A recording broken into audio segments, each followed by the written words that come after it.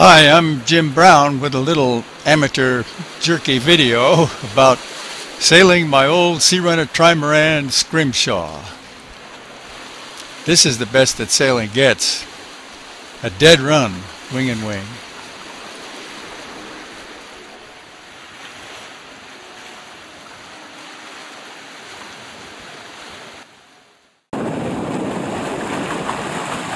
Looks great.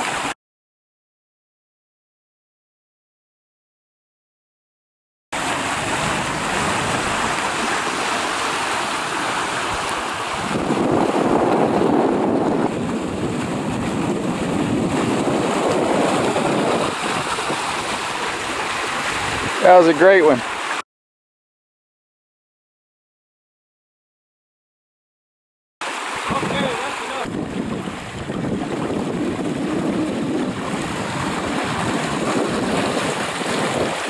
Reaching in light airs.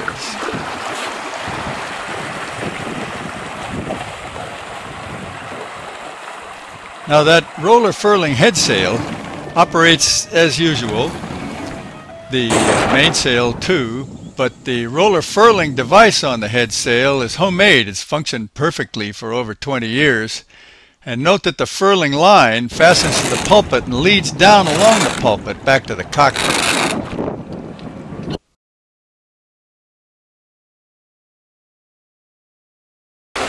we we sometimes leave just a couple of turns of the Genoa rolled up make the foot higher so you can see under it a little easier.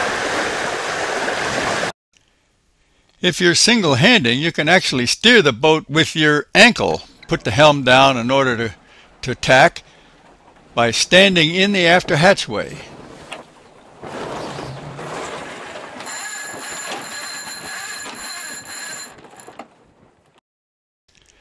Note the position of the sailor, standing up in the after hatchway.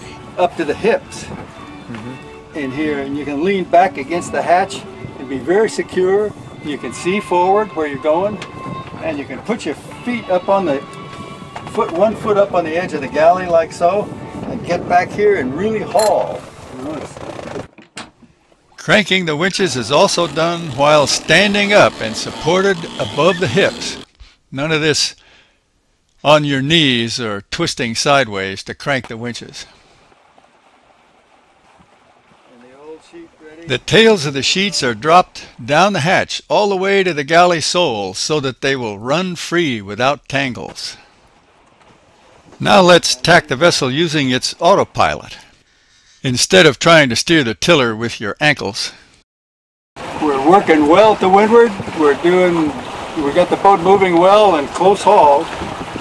And uh, if we push two of these buttons at once,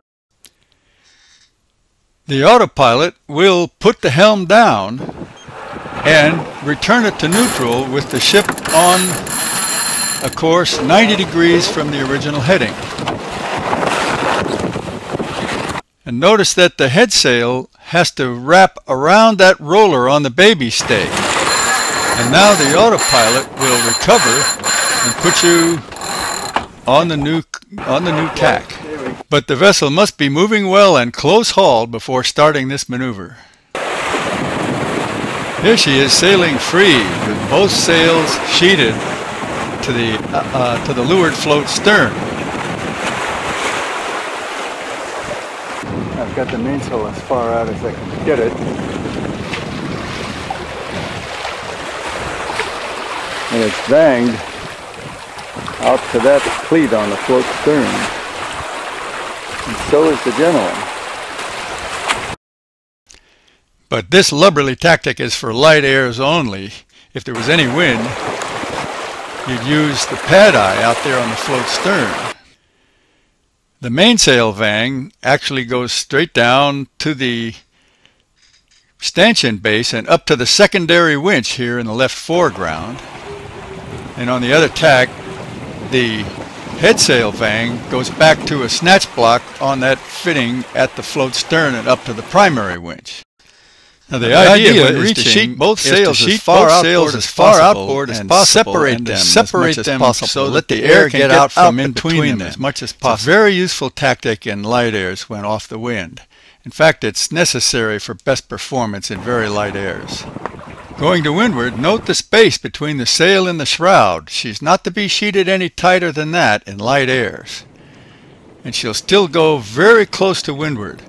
Here's a look at a very efficient sail plan, and particularly notice at the masthead the angle of the wind vane, indicating that the vessel is proceeding on a very close heading in light airs with this sheeting arrangement. Because of her big deep centerboard, she can do that. Okay, so we're going to try to pull the centerboard down while sailing, huh? And to do that, you got to give the boat a quick luff. You got to push the helm down so that the bow heads up into the wind until the sail just starts to luff.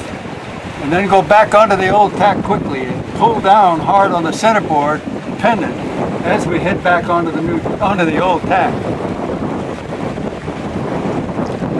Just as the sails begin to luff, got to put her back on to the old tack. Of course, it's a lot easier to get the board down if the boat's not moving. Okay, she's down.